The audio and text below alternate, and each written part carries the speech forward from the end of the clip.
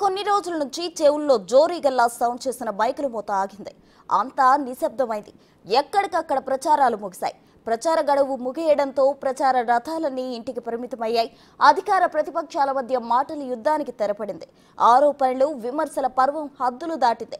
రాష్ట్రంలో రాజకీయ రచ్చరేపిన సార్వత్రిక ప్రచారానికి బ్రేకు పడింది. టీడీపీ జనసేన బీజేపీ కూటమిగా ప్రచారం చేయగా why not one seventy five అంటూ వైసీపీ మైకులో దంచుకొట్టింది.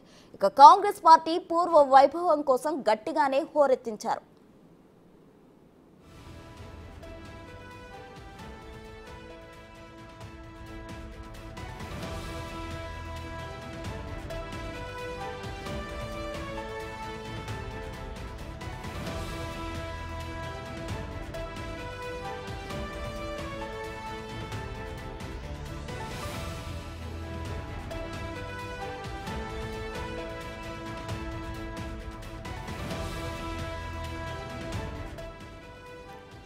మేమంతా సిద్ధం పేరుతో బస్సు యాత్ర చేశారు జగన్మోహన్ రెడ్డి.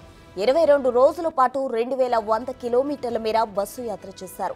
ఎనభై ఆరు నియోజకవర్గాల మీదుగా బస్సు యాత్ర సాగింది. పదిహేడు బహిరంగ సభల్లో పాల్గొన్నారు సీఎం జగన్.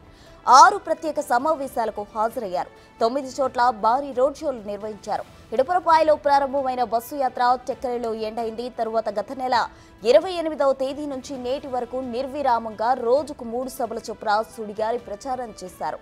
చివరిగా పిఠాపురంలో ఎండ్ ఆఫ్ ద స్పీచ్ పై ప్రచారాన్ని గ్రాండ్గా ఎండ్ చేశారు.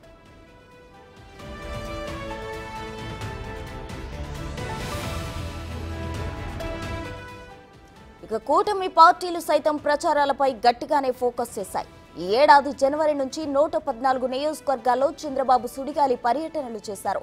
ప్రజాగలం పేరిటే తొంభై నియోజకవర్గాల్లో సభలు రోడ్ షోలు నిర్వహించారు. కూటమి తరపున మోదీ అనకాపల్లి రాజంపేట రాజమండ్రి విజయవాడ చిలకలూరుపేట సభల్లో పాల్గొని ప్రసంగించారు.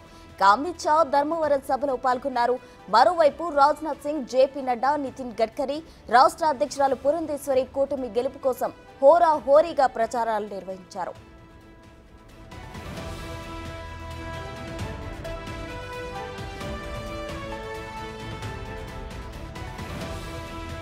పొత్తులో భాగంగా వెళ్తున్న పవన్ కళ్యాణ్ కాకినాడ సభతో ప్రచారానికి ఎన్ కార్డ్ వేశారు.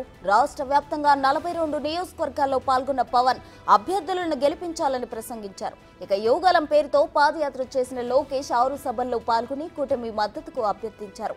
ఇక మంగళగిరి కుప్పంలో టీడీపీ గెలుపు కోసం భువనేశ్వరి భారీ సభలు నిర్వహించారు.